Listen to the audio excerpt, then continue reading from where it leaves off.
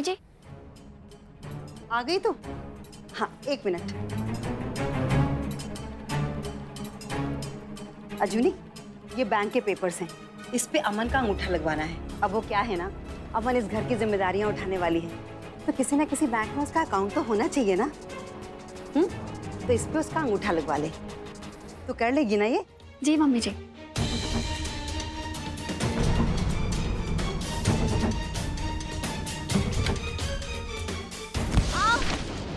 गलती से गिर गया भाभी। मैं देती हूँ।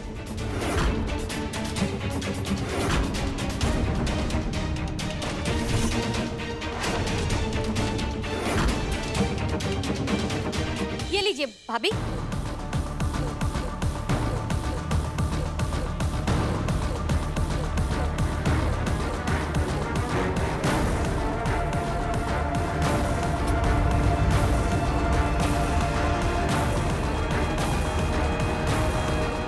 अजूनी, आज मैंने कुछ ज़्यादा बोल दिया ना।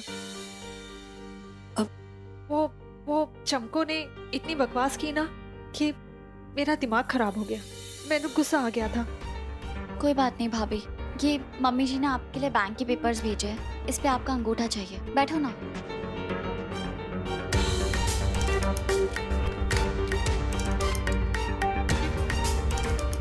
यहाँ। हेलो। अजनी बोल रही है क्या? हाँ जी बोलिए। जी हमने सुना है कि आप बहुत अच्छा गाती हैं। तो हम सोच रहे थे कि आपके लिए एक प्रोग्राम रखा जाए। सॉरी मेरे पास टाइम नहीं है। थैंक यू और कहाँ लगाना है? हेलो। हेलो। जी हमारी बात तो सुनिए। जी बोलिए। आपके पति हैं राजवीर सिंह बग्गा। उनकी रैली हमने ही शूट की है। तो आ, उन्होंने बताया कि आप बहुत अच्छा गाती हैं तो हमने सोचा कि आपके लिए एक प्रोग्राम रखा जाए। जहाँ आप गा सके। देखिए मैंने गाना छोड़ दिया है तो अब आप दोबारा यहाँ कॉल मत करना। यहाँ भाभी।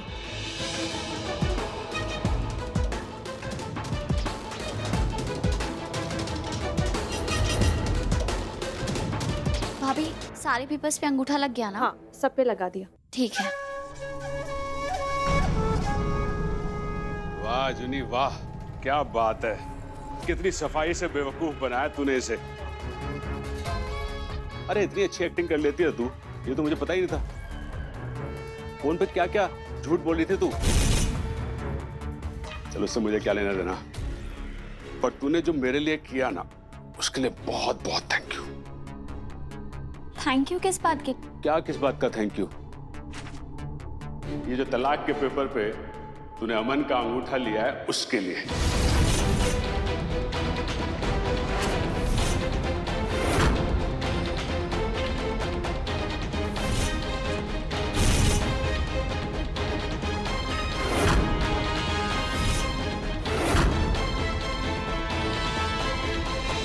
ये अजूनी नहीं नहीं भाभी ये अरे अब क्यों झूठ बोल रही है?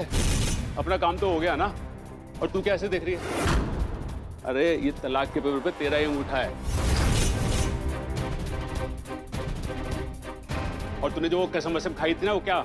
मरने की। तो जा जाके मर। सुनिए तो। क्या सुनो ना? हम्म? अब तेरा मेरा कोई रिश्ता नहीं है समझी?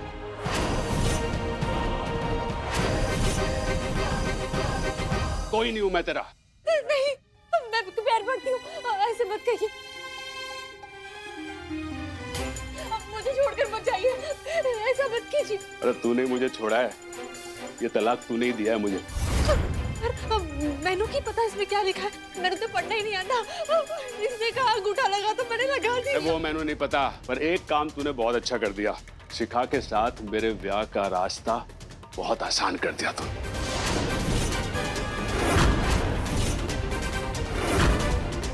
और तू पहाड़ में जा। और अर्जुनी मैडम वो क्या कहते हैं अंग्रेज़ी में? थैंक यू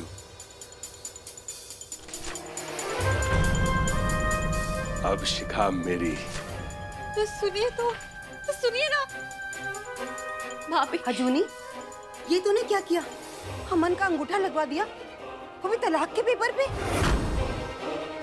लेकिन मम्मी जी ये पेपर्स तो मुझे आपने दिए थे। पर मैंने तो तेनू बैंक का फॉर्म दिया था। ये तलाक के पेपर तेरे पास कहाँ से आए? जिस पे तूने अमन का अंगूठा लगवाया? मुझे नहीं पता। अमन मैं तो सपने में भी नहीं सोच सकती थी कि अजूनी ऐसा कुछ कर सकती। है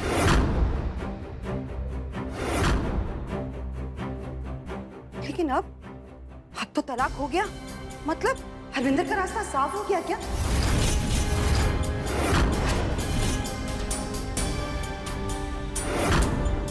अजूनी क्यों किया तूने? क्यों किया तूने ऐसा अजूरी वो मेरा शादीशुदा घर बर्बाद कर दिया। मेरा घर तोड़ दिया। क्यों किया तूने अजूरी क्यों? अजूनी मैंने अमन को घर की ज़िम्मेदारी संभालने को क्यों कहा? पता है तेनू? अरे मैंने ये सोचा था कि तू राजवीर को इलेक्शन में मदद कर देगी और ये अमन ये घर की सारी जिम्मेदारियाँ संभाल लेगी। पर तूने अगर मैंने पहले बोल दिया होता तो मैं घर की सारी ज़िम्मेदारी तेरे हाथ में दे देती।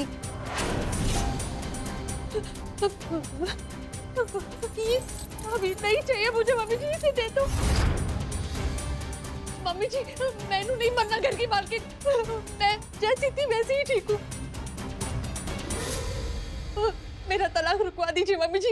मेरी शादी पर टूट दीजिए। भाभी प्लीज़ मुझ पे भरोसा रखो। मुझे नहीं पता वो पेपर्स कहाँ से आए लेकिन ऐसे अंगूठा लगाने से तलाक नहीं होता। उसके लिए कोर्ट जाना पड़ता है केस लड़ना पड़ता है। वाह बहू वाह। मान गई मैं तेनू। मान गई मैं तेनू कि तू बहुत होशियार है पर कोर्ट में तलाक लेने के लिए अंगूठा भी बहुत होता है। जो तूने अमन से लगवा लिया। अरे मैं कम पढ़ी लिखी हूँ लेकिन इतना तो पता है मैंने। नहीं भाभी आप जानती है मैं ऐसा नहीं कर सकती। प्लीज़ आप भरोसा करिए मुझ पे। बस हो गया जूनी।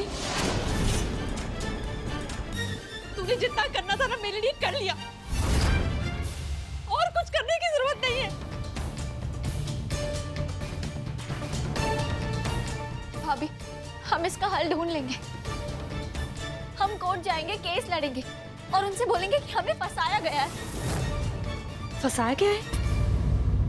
फसाया तो तूने मैनू है।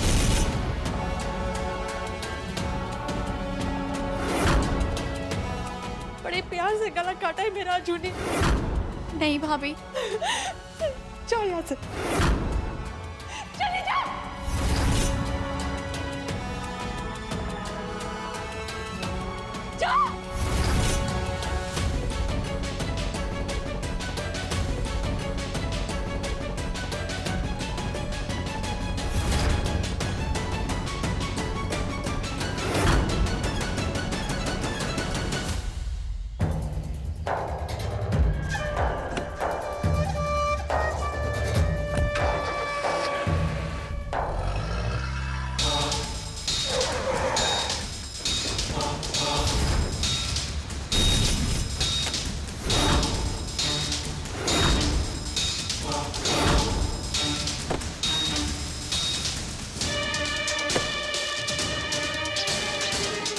गाड़ी के नीचे आके मरेगी क्या? क्यों किया आपने ये सब? मैंने कहा कुछ किया? जो कुछ किया तूने किया। तू ही तो लेकर गई थी वो तलाक के पेपर उसके पास। झूठ बोल रहे हो आप। मैं बैंक के पेपर्स लेके गई थी तलाक के नहीं। मनु कैसे पता? क्योंकि ये सब आपने किया है। ठीक है।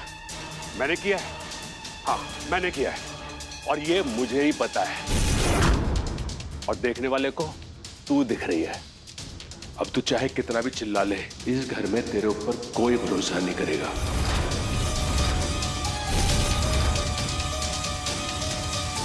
तो अब क्या करेगी अजुनी मैडम?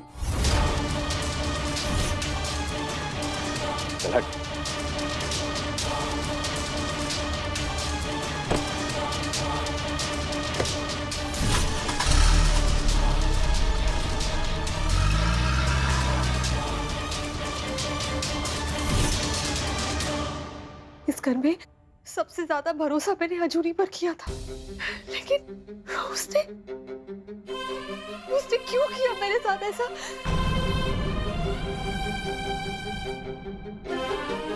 अमन, तू बहुत भोली है। तेन कुछ भी समझ में नहीं आता है। अब तक इस घर में तेरी कोई कीमत नहीं थी। लेकिन अब, जब सारा कुछ तेरे हाथ में आ गया है ना तो जल रही है वो। देखा नहीं जा रहा है उससे। ऊपर से तेरे पापा जी, उन्होंने राजवीर को इलेक्शन में खड़ा कर दिया, जिससे अरविंदर तो बहुत गुस्से में था। तूने देखा, ये अजूनी कितनी चालाक है? उसने अरविंदर की मदद करके उसका गुस्सा ठंडा कर दिया। लेकिन इस सब में बलि किसकी चढ़ी? तेरी। अरविंदर का गुस्सा तो ठंडा हो गया। लेकिन उसका असर तो रहेगा ही ना। नहीं मतलब आषाढ़ एकादशी आ रही है। और तेनू तो पता ही है ना कि हर साल हम इस टाइम पर गाँव जाते हैं। और इस साल भी ना मैनू जाना पड़ेगा। लेकिन तू तो बिल्कुल फ़िक्र ना कर। मैं भगवान जी से तेरे लिए प्रार्थना करूँगी। अमन अरविंदर ने तुझे तलाक दे दिया। उसके बाद भी मैं तुझे अपनी बहू मानती हूँ। शिखा से ब्याह के बाद भी तेरे डैडी जी ने तुझे इस घर में रहने की इजाज़त दी ना?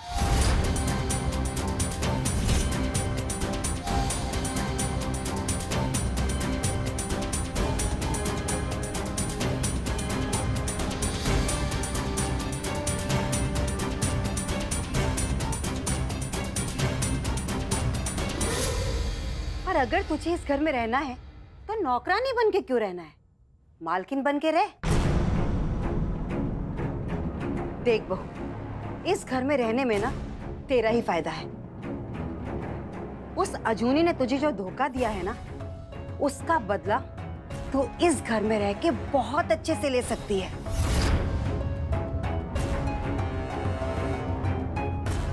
देख अमन, तू ये करेगी ना हो पाएगा तुझसे ये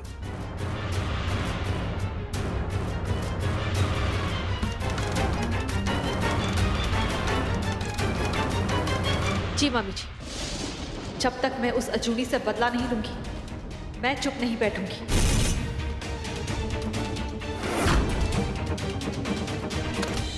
क्या बात है बाजी एक की बारी में दो टोटे। अगर इस लकड़ी की तरह सब कुछ होता तो कितना अच्छा था। क्यों है बाजी जब से आया नाराज़ दिख रहे हो की गल है?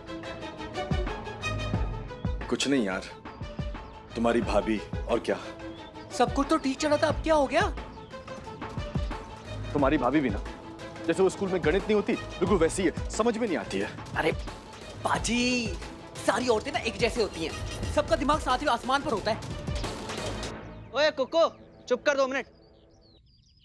पाजी पहले प्रॉब्लम में है। और तू उसका हल ढूँढने के बजाय उनका दिमाग खराब कर रहा है। पाजी सब कुछ तो ठीक चल रहा था ये अचानक इतनी प्रॉब्लम कैसे हुई? एक बार सब कुछ डिटेल में बताओ। क्या डिटेल में बताऊँ यार? तुम तो जानते हो तुम्हारी भाभी नाराज़ होकर मायके चली गई थी। जैसे तैसे उसको मना के लेके आया। फिर हनीमून पे लेके गया। जो होटल तुमने बताया था वहाँ पे। लेकिन वहाँ पे गिर गया पंखा और सब गड़बड़ हो गया। और उसके बाद ना उसके बाद कुछ अच्छा नहीं हुआ। पाजी उस बीच में क्या हुआ? जरा याद करके बताओ। आयुष्मान हो। तुम्हारी यात्रा शुभ रहे। ऐसी बहू बहुत सौभाग्य से मिलती है। राजवीर के लिए इसका आना बहुत शुभ होगा।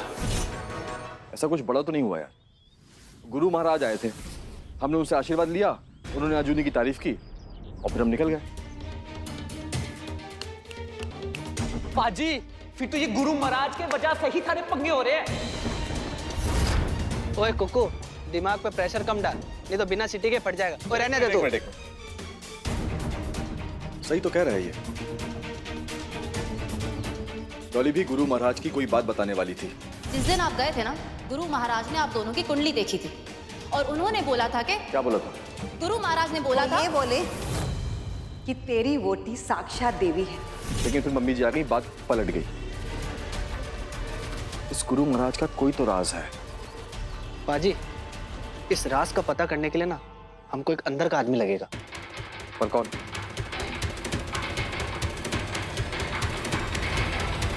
पाजी मंगीरा!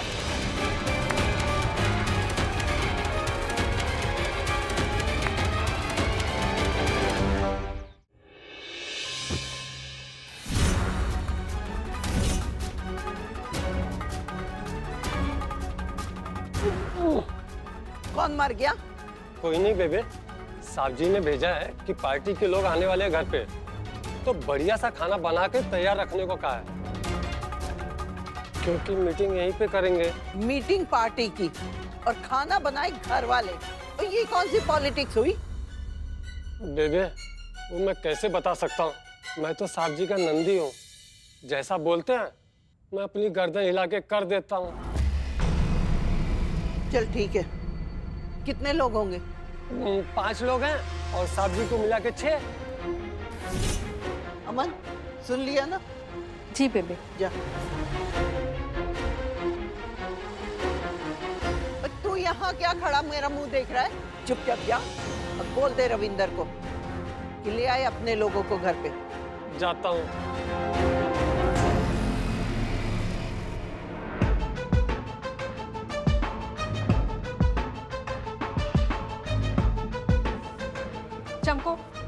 जल्दी सब्ज़ियाँ काट। अजूनी अभी तक तड़का नहीं लगाया? इसको जल्दी लगाकर आटा गूंद ले। चमको मुझे वो धनिया और मिर्ची काट देना। जी भाभी। चमको तेरा यहाँ पर कोई काम नहीं है। तू बाहर जा और हॉल में जाकर सफ़ाई कर।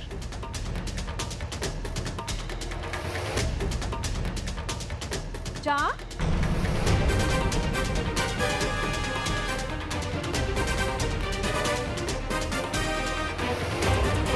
मेरा मुँह क्या देख रही है? जल्दी जल्दी खाना बना। पापा जी के गेस्ट आने वाले हैं। और हाँ सब कुछ अच्छे से हो जाना चाहिए।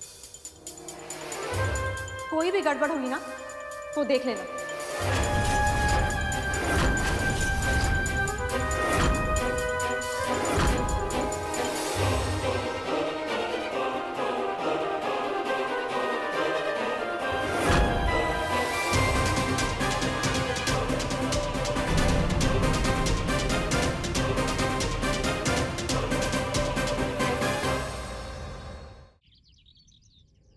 जाओ शुरू। है भाइयों खाने में जिसने की शर्म उसके न फूटे करम। सही है कि नहीं? सही है बागा साहब। हाँ जी हाँ जी बस सही है जी।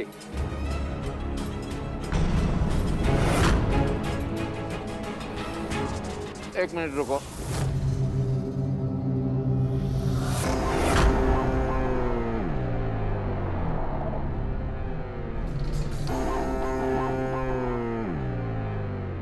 क्या बात है आपके प्लेटों में देख रहा हूँ। सब्ज़ी है, दाल है, रोटी है, पूड़ी है, चावल है।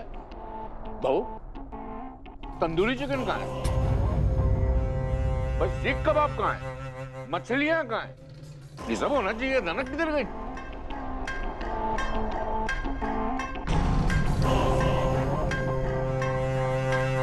पापा जी, वो घर में पूजा चल रही है ना, इसलिए नॉनवेज नहीं बनाया।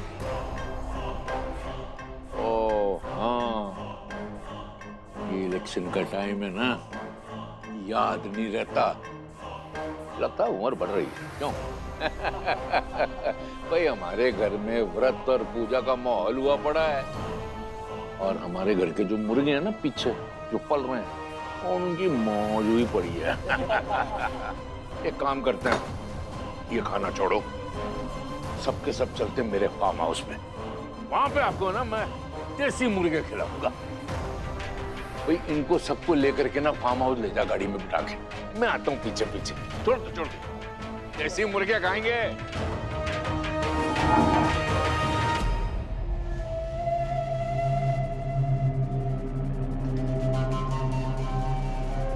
आप दोनों जरा आगे आगे